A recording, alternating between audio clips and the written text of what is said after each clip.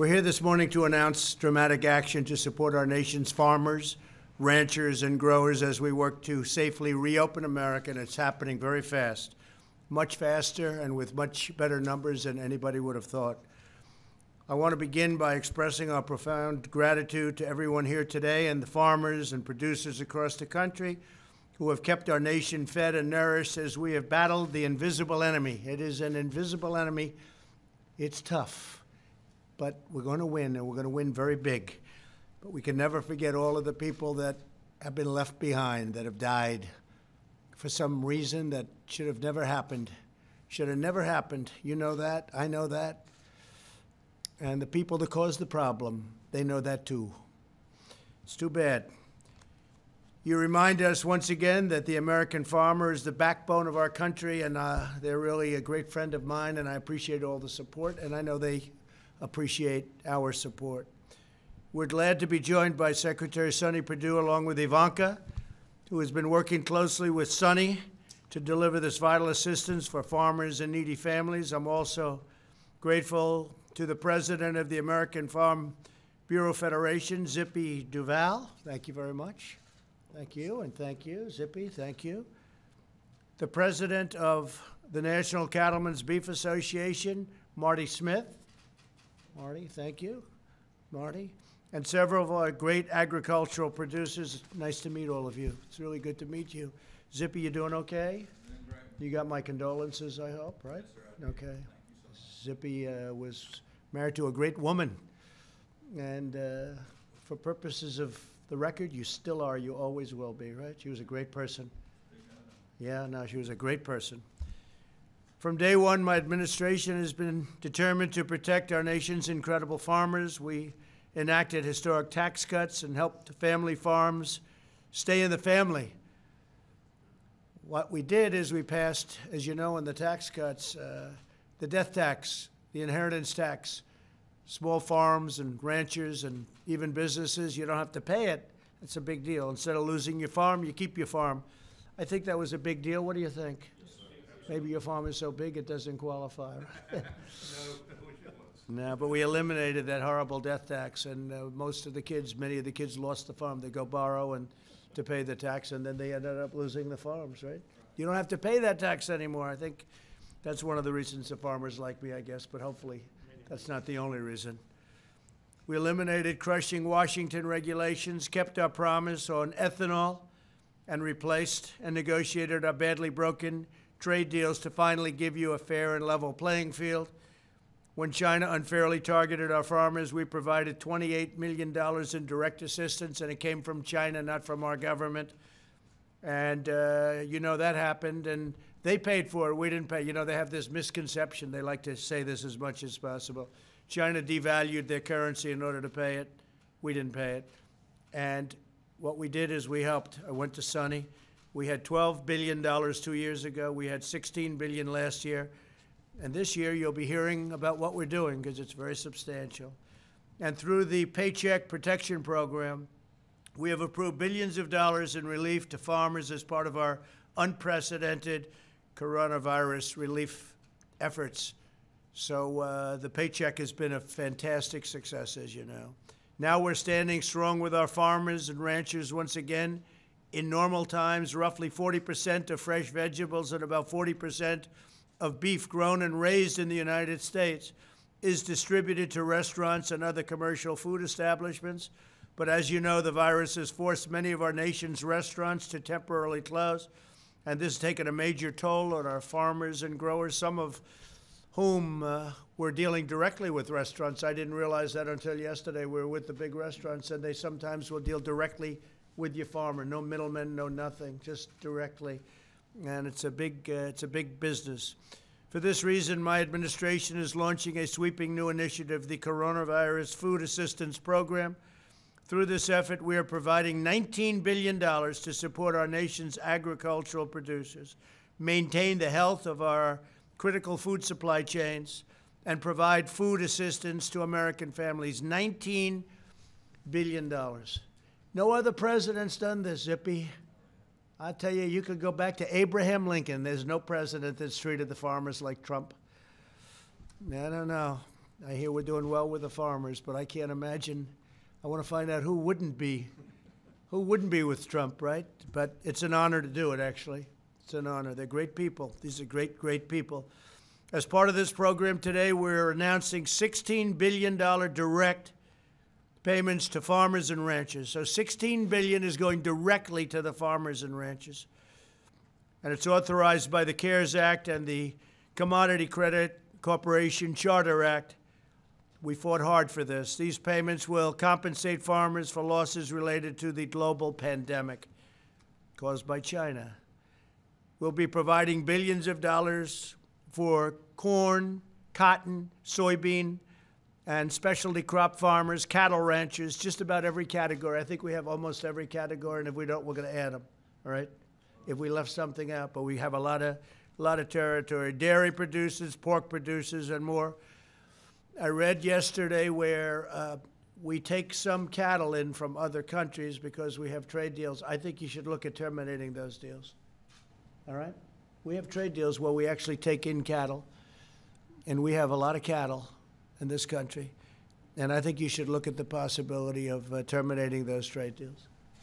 Now, if a country's been a great country and a great ally and a great friend, it's, you know, you have to do that. But there are some countries that are sending us cattle for many years, and I think we should look at uh, terminating. We're very self sufficient, and we're becoming more and more self sufficient. Probably one of the reasons I got elected. Sign-ups will begin on May 26th through your local Farm Service Agency offices. You got to go sign up to pick it up, to get the money, and we'll start issuing payments within one week of receiving your application. So that's a lot of money. You're talking about a total of 16 billion plus 3 billion. And you know, uh, we uh, bought last week, and it's already in distribution, $3 billion worth of product for the food lines and it's, uh, is this already in distribution? I see that they're handing it out. I see where they couldn't get food. They're having a hard time. And we have these incredible ranchers and farmers that have so much food. And I said, let's spend that money and give it to our farmers, our ranchers, and it's worked out really well. So, and they've already got it in supply. That's it's already on the lines. I saw them handing it out today, a couple of days ago, actually. It's fantastic how quickly it worked. In addition, this important initiative also includes the new Farmers to Families Food Box program, which Ivanka and Secretary Perdue helped officially launch on Friday. Through this effort, the Department of Agriculture will work with local food distribution companies, and we have a lot of great distribution companies. I've gotten to meet some of them, which have also been hit very hard to purchase $3 billion of food and produce from the American farmer, which I just mentioned and to deliver to the food banks and charities that serve needy families. Already we have allocated $1.2 billion to farmers, to families, funding through 198 contracts with distribution companies, many of which are small businesses adversely impacted also by this horrible plague. It's a plague. Here today are a few of the American farmers and ranchers who can tell us why this program has been so essential and successful Scott Sink is a cattle producer whose business has been badly impacted by the virus. He says this initiative will provide a bridge to help them move forward. And uh, we've been helping them in a lot of other ways too, but this was a great help. And Scott, please come forward. Thank you, Scott. Thank you very much. Yes, sir. Thank you, sir. Uh, my name is Scott Sink. I'm a producer in uh, Southwest Virginia, uh, Blacksburg. Uh, we have a catering business that we do farm to table, along with raising livestock, produce, and custom hay. Uh, we were able to benefit from the Paycheck Protection Program, and now this bridge will also help us get into the new growing season. Uh, talking to farmers all across the country, you know, farming is something that's always unexpected. We deal with that. We have to pivot at any time. But with something like this that's impacted the supply chain, producers, as well as consumers, that's why having a program like this is very beneficial to all of us. So we thank y'all for your work. Thank you very much. That's great, Scott. And you love that business? You wouldn't trade businesses for anything, right? What is it with farmers? They don't want to do anything else. They have some bad years, but we've helped them have very good years, actually. But they have some bad years, but they wouldn't trade it for anything with that. Yeah, that's true. And then they start making money and they go out and buy bigger tractors. Maybe they'll slow it up a little bit the next time, right? But you guys are great. Robert Mills raises both crops and livestock, and he believes this program will help countless farm families get by and more than by as we begin to reopen our economy, and it's opening up really fast. Robert, please come up. Robert, thank you. Thank you, Mr. President. I'm Robert Mills Jr. I'm a first-generation farmer from south side of Virginia. We raise tobacco, beef cattle, poultry, hay, small grain, and industrial hemp for CBD. We're a pretty diverse operation, and we're diverse because we always expect the unexpected, and we want to make sure that we can stay in business. And we didn't expect this, but I will tell the American people that your farmers and your ranchers are out here working each and every day to make sure that those grocery store shelves stay full. And it's administrations like President Trump's administration and the forethought that he's had with the programs that's been put in place and the one that we're talking about today. It's not a rescue program. It's going to help these farm families be able to make good, wise financial decisions in the months and weeks and years ahead. And it's also there to let them know that this country is there supporting them because this country relies on what these farmers and ranchers do every day. And so I want to personally thank President Trump, the administration, and all those who've worked hard to make sure that these farm families stay there, that they stay whole, and that the American people will never have to worry about running out of food. Thank you, Mr. President. Thank you very much. I love his accent. I love that accent. But is that originally from Virginia? Yes, sir. It's Southside Virginia, about 20 miles north of North Carolina. Oh, I see. And they like Trump. That area, they like Trump. That's, that's great area. Thank you very much. Great job. Uh, You know, uh, the farmers were targeted by China when we started uh, negotiating tough with China. And what I did is we've taken in tens of billions of dollars of tariffs. Sonny was very aware of this because he had to distribute the money to the farmers. I said, Sonny, we've taken in a lot of money. How much did the farmers lose? This is two years ago. Uh, they were targeted for an amount. What do you think the impact? He said $12 billion. So I said, that's okay. We'll take $12 billion out of our tariff money, which was many billions more than that that China paid. Never paid us 10 cents, by the way, before that. Before Trump, they never paid anything. I said, we'll take 12 billion out of the tens of billions of dollars that we took in, and we're going to give it to the farmers. And you distributed that money.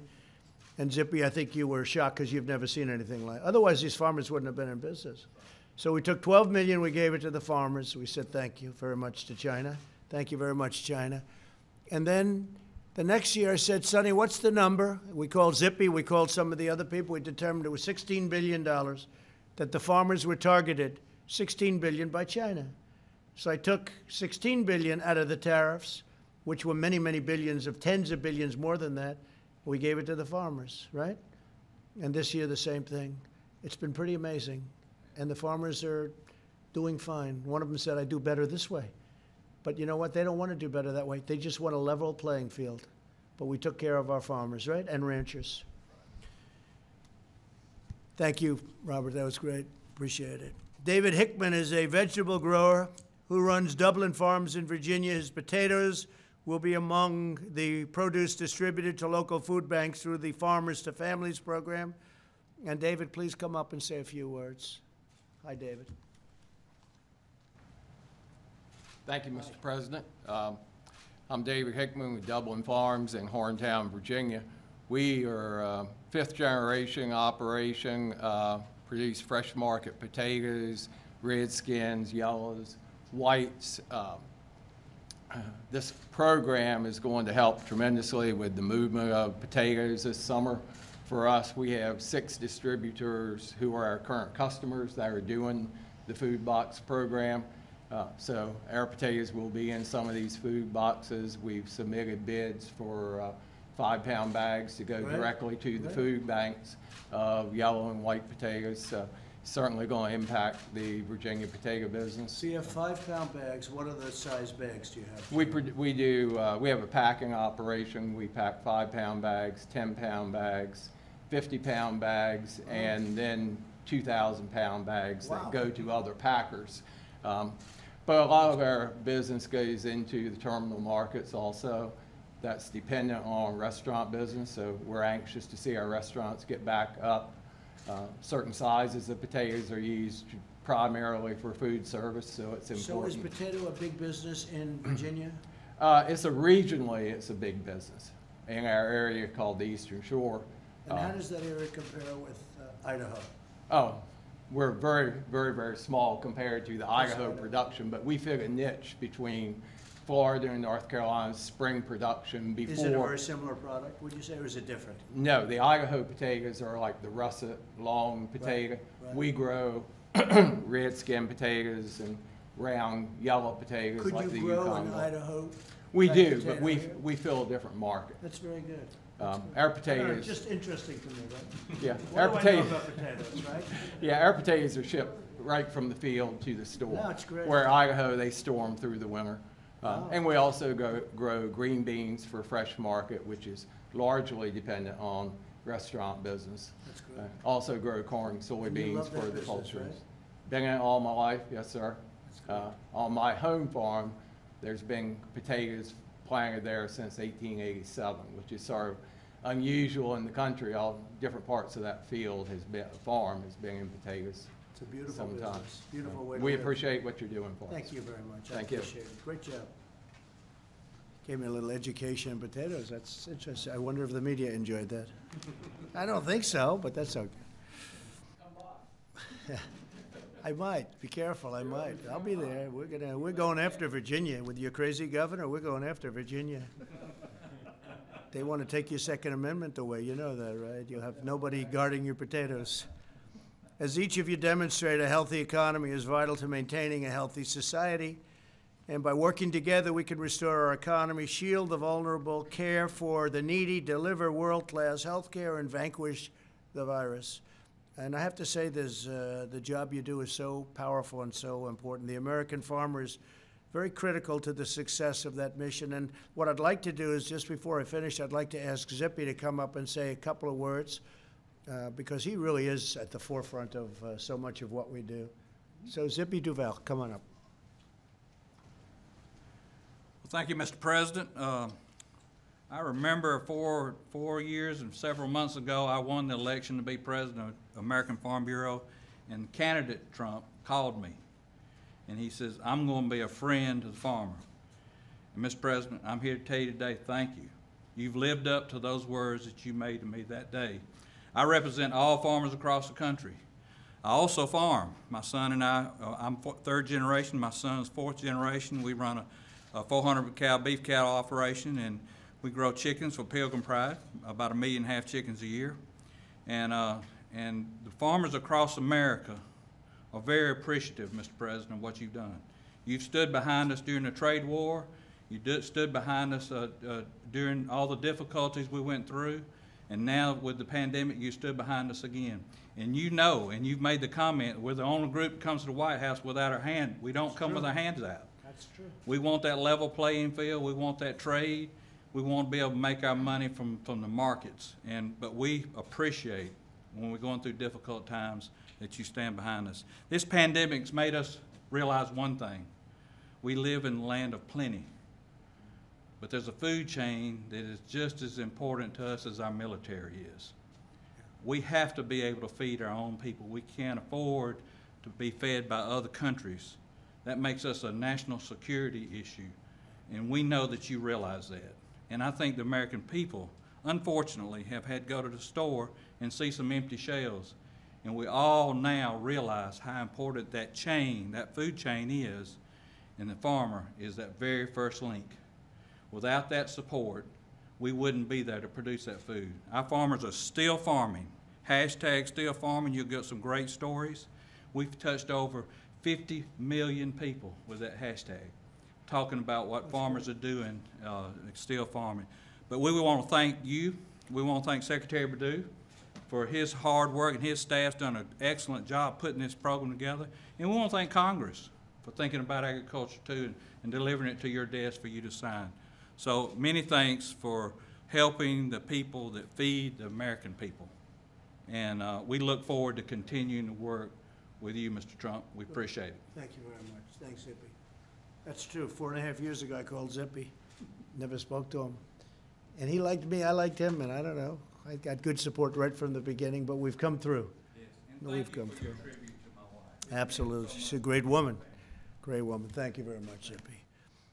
So just to conclude, American farmers, ranchers, and growers feed, fuel, and sustain our nation. They're proud defenders of the American way of life, and I'm proud to stand right by their side in this hour of need. And the food chains are now back to almost working perfectly again. They had some interruptions, which you knew about, and we were able to take a very bold action. You saw that. And that action caused them to do what they had to do. And uh, they're in good shape, and very shortly they'll be in absolutely perfect shape. Uh, but people were worried about that. The action we took was a very important action, Larry Kudlow, wasn't it? We did a good job. Now I'd like to ask uh, Secretary Perdue to say a few words, followed by Ivanka and uh, Marty Smith, if I could. Okay, please. Please. President, I remember very clearly uh, you calling me just a uh, few weeks ago when you read about the uh, effects of the pandemic on American agriculture. And uh, once again, you directed me, Sonny, we're going to have to help our farmers. Bring me a program. What's it going to take? I want you to use all the available resources at your disposal, just as you've done before when uh, China retaliated against our farmers there. I, I, I don't know how, Mr. President, but you instinctively know that American agriculture, farmers and ranchers have been the bedrock of our American economy since the founding of our nation, and there still are. And we talked about the food supply chain. Uh, you know that instinctively, but I've, I want to tell you, I've never in my lifetime seen another president recognize that value among the folks standing here and they're representing farmers and ranchers all across the country. So we're very appreciative at USDA that we don't have to push the rock up the hill. Usually, when it comes to President Trump, the rock's coming down the hill. I have to catch it. So uh, we and uh, we appreciate that uh, very much. That we don't have to sell you on the value of agriculture. But the program that we're announcing today will be a benefit. The $16 million of direct farmer direct payments to farmers of all sizes uh, and all really all production there uh, will be very helpful. A real lifeline but certainly the program that Ivanka and I were privileged to go out last Friday to Coastal Produce that you see here is also a lifeline not only to those specialty crop producers, both dairy producers and meat producers, but uh, also to the families who need this food. You can see this is high quality food here that's being distributed all across the country to our food banks and uh, really a lifeline for them as well. So the food supply chain that begins with these producers representing farmers and ranchers all across the country, ending up in the families' uh, tables that uh, need this food, is a real noble profession. I'm honored to be a part of it, and I'm really particularly honored, President Trump, that you understand just in your heart how valuable our American agricultural sector is, and I thank you. Thank you very much. Thank you, Secretary. This is an incredibly um, exciting day as this very large relief package is, is announced. And you can hear today, and you can hear through the course of, of the campaign in the last three years, the special place all of you have in the heart of this president. Farmers and ranchers feed America, and that's never been more true than we've all realized over the course of the last several months. In addition to the much needed relief, the $16 billion that will go to farmers and ranchers to, to help support them through this difficult time. This Farmers to Family Food Box program is just an amazing initiative. As the Secretary mentioned, the President saw that there were those in need, those vulnerable, um, long lines at food banks trying to get food, and yet there was this unbelievable, beautiful American fresh produce that was going to waste. So thinking about that supply chain and ensuring with $3 billion that those who are vulnerable, that those who are in need get access to boxes like these, 20 to 25 pounds of meat, milk, um, all forms of dairy, and, and of course great fresh produce is, is incredibly virtuous. It's a great cycle. It helps the small distributors, it helps the small farmers who were prioritized in, in the bids, and of course it helps those in need. So we're very excited about this program. These boxes themselves will also be going to a mission here in DC, um, along with several others that we have at the White House. And we hope that um, these boxes will play a big role in, in feeding those who need it across the country. So, so thank you, and thank you, Secretary, for the hard work of your team um, in standing up this program so rapidly. We think that it will be extraordinarily successful for our small farmers and um, and of course those in need. So thank you. Thank you. Okay, Marty?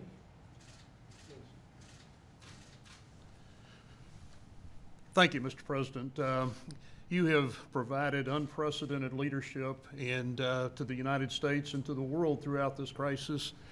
And with that, you have shown so much concern and so much support for American agriculture. And on behalf of the National Cattlemen's Beef Association and the rest of agriculture, I want to say thank you. I'm Marty Smith, and uh, I'm a rancher from Florida and serving this year as president of the National Cattlemen's Beef Association. Uh, Your executive order a few weeks ago directed toward the Packers, we're starting to see the impact of that. We're getting beef, pork back online and getting the products back on the shelf. You know, America's farmers and ranchers continue to work around the clock to feed the public, to feed all of our nation, feed a lot part of the, a large part of the world. What you've done with that and what we're doing with this, uh, with this current program enables us to stay in business and continue to do that. Again, we thank you for that. We thank your administration. Working with uh, Secretary Perdue has just been a great way for us to all move forward. But even more importantly than that, I want to thank you and your family. You know, with us, it's all about our families and our family operation. Your family is just as dedicated to this, and Ivanka, we thank you for the support you've shown to us. It's just, uh, it, it's so meaningful, and together we get through this, and we do beat this, and we keep the, the, the highest quality, safest, most sustainable protein sources on the plate of Americans all through this, and we thank you. Thank you very much. Thank you. Okay, any questions, real quick? Mr. President? I'm going to Capitol Hill, so. if you- Mr. President? Uh, Thank you. Will, will any of this aid be directed towards cattlemen, uh, chicken farmers, uh, and pork producers who have had to euthanize their flocks already because of the pandemic?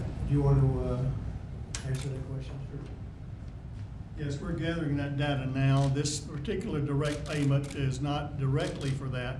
There will be help coming through NRCS over the uh, euthanasia and disposal uh, coming that way. So there will be uh, certainly directed there soon.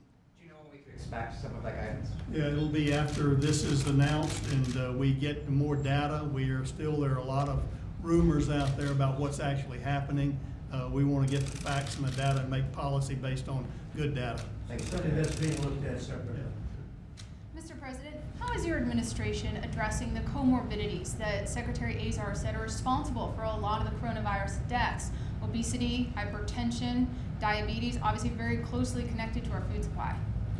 Well, I think we just want people in this country to be healthy. Uh, How does every country address it? We want our people to be healthy.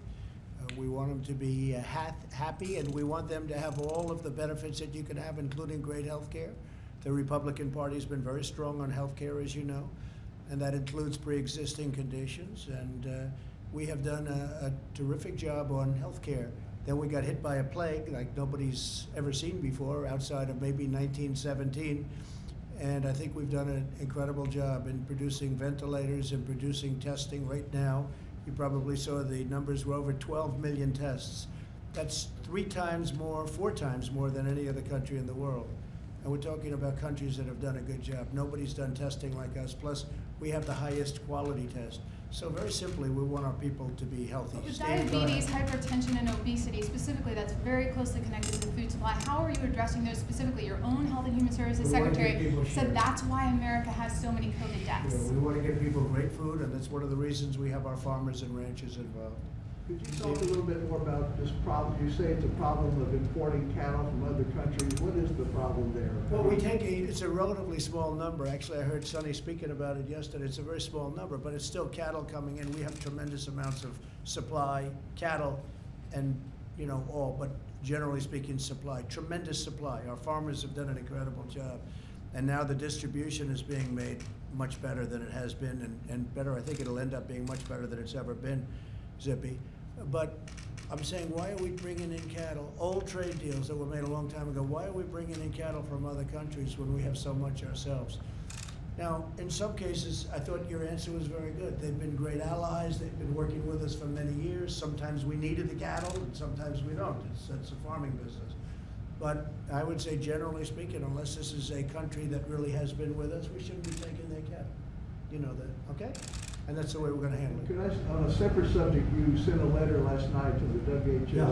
What reforms do they need to do to? Well, just rectify on the letter, so? I don't wanna go through it. The letter is a very detailed, long letter, uh, but basically, they have to clean up their act, they have to do a better job, they have to be much more fair to other countries, including the United States, or we're not gonna be involved with them anymore. We'll do it a separate way, okay? On capital gains, the capital gains. On, Some workers that, some workers at meat whack, uh, at meat packing plants say they're still concerned about their safety and that they want the government to do more to enforce and make sure that meat packing companies are keeping their, uh, that their workers safe with protective equipment, testing, etc.